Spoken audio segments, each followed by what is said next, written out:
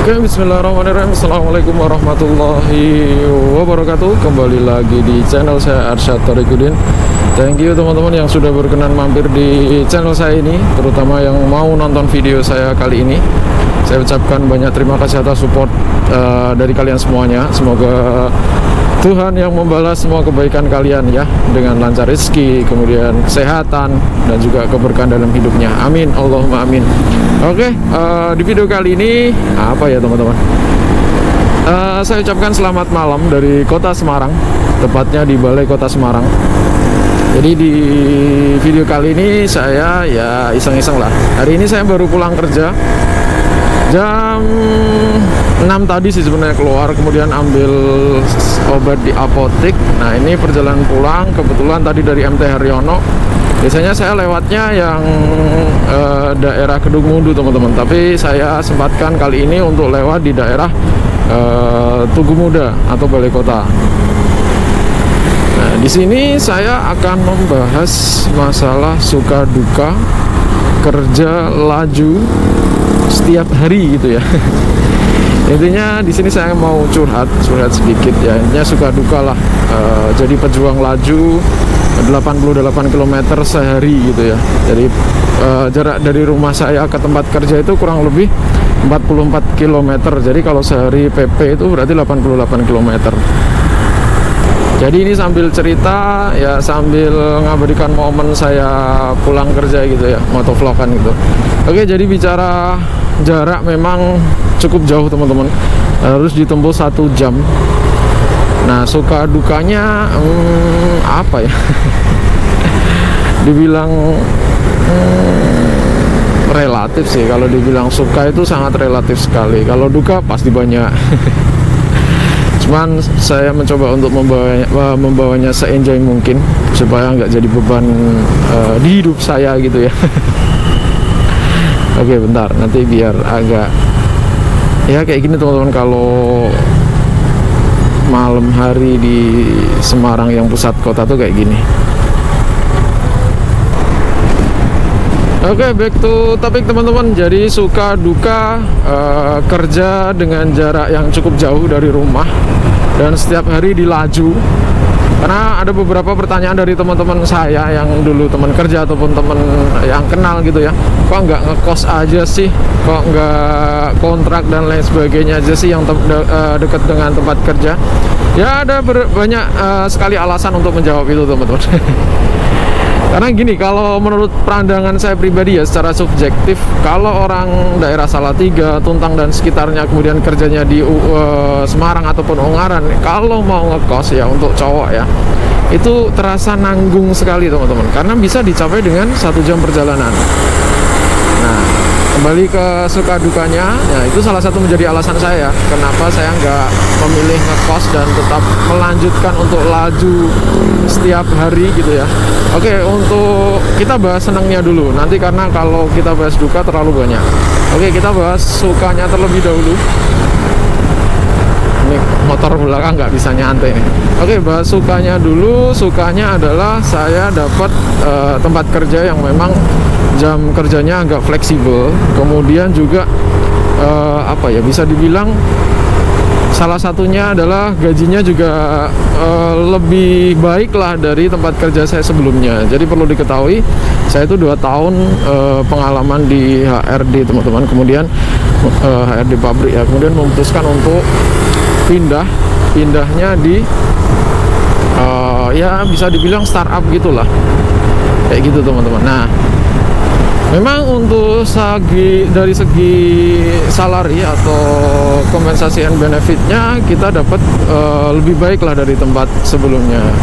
Nah sekarang kita akan membahas dukanya teman-teman. Karena ini cukup banyak kalau kita bahas masalah duka. Yang pertama masalah waktu. Ya karena kita harus bekerja uh, eh, 8 jam sehari dan juga plus satu jam istirahat otomatis kan 9 jam. Ditambah ya kurang lebih dua setengah jam untuk perjalanan. Karena satu uh, satu jam lebih itu untuk berangkatnya dan satu jam lebih untuk pulangnya. Uh, belum lagi kalau misalkan seperti ini ada keperluan sebentar gitu keperluan setelah pulang kerja dan sebagainya itu pasti pulangnya lebih lama lagi teman-teman. Nah itu salah satu dukanya. Kemudian yang selanjutnya eh, yang pasti berkaitan dengan apa ya bisa dibilang perjalanan pulang pergi itu pasti capek. Ya bayangin aja teman-teman sehari 88 km naik motor satu jam itu pasti capek lah bahkan uh, untuk seminggu pertama saya masuk kerja itu saya sempat sakit teman-teman. Saya sempat drop. Nah cuman setelah itu ya ternyata setelah dijalani biasa aja gitu. Kayak Semarang Salatiga itu jaraknya deket gitu nggak jauh-jauh banget lah. Kayak sudah biasa gitu teman-teman. Itu ya uh, salah satunya capek. Yang kedua kalau kita sudah berkeluarga pasti kalau dan udah punya anak sampai rumah itu mm, pasti anaknya udah tidur. Ya walaupun kita berangkat anaknya sudah bangun sudah sempat main dengan kita tapi pas sampai rumah itu udah tidur gitu. Dukanya itu sih teman-teman. Dan jarang sekali saya pulang itu melihat matahari terbenam. Karena kalau pulang itu pasti sampai rumah itu pasti udah gelap gini gak gelap gini teman-teman. Karena untuk jam kerja saya sendiri itu jam setengah sembilan dan pulangnya jam setengah enam wis pulang-pulang itu pasti sampai rumah udah jam jam ya jam 8 jam 9 bahkan kadang jam 10 kalau kita pulangnya agak telat gitu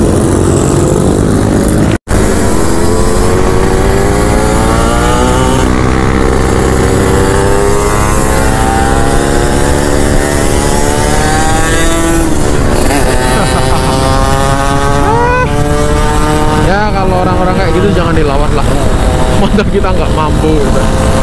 kita yang nyantai aja Oke kembali ke topik. Ya, tadi udah berapa? Dua poin ya yang saya jelaskan. Yang pertama adalah jaraknya cukup jauh efisiensi waktu. Yang kedua memang uh, di badan capek ya. Yang ketiga adalah karena jaraknya juga jauh pasti operasional kita membengkak teman-teman. Jujur ya ini saya jujur sehari saya habis uh, pertama 30.000 itu untuk PP belum lagi kan nanti kalau ada uh, misal keluar-keluar gitu nah nanti beda lagi. Tapi yang pasti kalau di rata-rata sehari itu adalah 30.000 teman-teman untuk Pertamax. Nah itu kalau dikalikan ya ibaratnya seher, uh, sebulan itu ada anggap saja 20 hari kerja ya. Berarti kan 600.000 Nah, jarak 88 km kan sehari otomatis kalau 28 kali 20 berapa teman-teman? 8 kali 1600 ya ya kadang bisa lebih lah 2000 km gitu bisa dapat. Nah otomatis servisnya harus kita lakuin ganti oli itu satu bulan sekali. Dan kadang kalau yang namanya motor metik ketika ganti oli itu pasti ada aja yang rewel. Ya penyakitnya sih. Nah itu pasti akan membengkak lagi. Pokoknya saya spare uh, uang. Saya itu menghabiskan atau menyediakan alokasi untuk biaya operasional saya termasuk nanti jajan-jajan dan lain sebagainya itu sebulan satu juta sampai dengan satu setengah juta. Ya itu yang bikin agak uh, membengkak sih teman-teman. Dan itu juga yang menjadi pertimbangan saya kenapa saya nggak pilih kos ya? Karena kalau kos di Semarang kan rata-rata 800 600 ya sampai satu juta lah. Belum nanti sama makannya. Nah itu nanti akan bengkak lagi. Kalau saya laju kan ya paling capek di badan Tapi uh, bisa press untuk kebutuhan lainnya teman-teman. Bisa digunakan atau dialokasikan untuk kebutuhan lainnya. Ini gelap teman-teman di sini. Itu ya. Yang poin ketiga adalah itu. Jadi memang uh, biaya operasional cukup tinggi. Tadi yang ketiga kemudian yang keempat adalah dukanya ketika musim penghujan. Nah itu paling sedih teman-teman. Karena kita pakai motor dan kalau musim hujan itu hujannya nggak kira-kira. Kadang bisa pagi kadang bisa sore atau bahkan malam gitu. Ya saya kemarin sempat sudah melewati dari bulan September sampai dengan bulan uh, Maret Maret di akhir ya. Itu sudah sempat melewati uh, sedihnya atau dukanya uh, jadi pejuang laju ketika musim hujan. Ya itu double capeknya teman-teman. Dan kalau kita nggak fit wah itu gampang sekali terkena flu. Penyakit itu gampang sekali masuk kalau kita nggak punya badan fit ketika uh, hujan di musim penghujan teman-teman. Itu. Kemudian apa lagi ya? Ya pokoknya intinya uh, saya bahas ini sambil motovlogan ya teman-teman. Karena juga bingung mau bikin konten apa. Oh, belum ada waktunya sih yang pasti itu apalagi ya dukanya ya? Mungkin itu sih teman-teman dukanya. Ah duka. Karena sebenarnya kalau mau diruntut satu-satu cukup banyak. Cuman saya singkat empat poin itu aja ya untuk dukanya. Satu banding empat jadi sukanya satu uh, dukanya empat gitu itu teman-teman. Jadi kalau teman-teman mau laju ya karena kebutuhan dan lain sebagainya harus siapkan mental dan juga siapkan fisik teman-teman. Dan juga niatkan uh, kerja kita sebagai ibadah. Karena insya Allah apa pun yang kita niatkan untuk beribadah itu pasti Allah memberikan keberkahan tersendiri teman-teman Oh ya, tambah lagi sukanya teman-teman. Sukanya itu uh, kita bisa menyalurkan hobi motoran kita itu lebih banyak ketika memang kita jadi pejuang laju. Karena aspal itu jadi makanan sehari-hari, jadi ya asik-asik aja gitu kalau naik motor tiap hari. Oke mungkin itu aja teman-teman Jadi dari kesimpulan yang saya bahas tadi Kesimpulannya adalah apa pun yang kita kerjakan dan apa pun yang menjadi kewajiban dan tanggung jawab kita kita kerjakan dengan sebaik mungkin dengan ikhlas dengan niatan beribadah kepada Allah Subhanahu wa taala. Uh, dan juga yang pasti selalu bersyukur dengan apa yang kita jalani ini. Karena saya yakin suatu saat ketika memang kita bersyukur kita menjalaninya dengan sebaik mungkin Allah akan membukakan pintu rezeki yang lain ya kalau dibilang berharap pengen dapat kerjaan yang lebih dekat ya pastilah. Ya, namanya juga orang.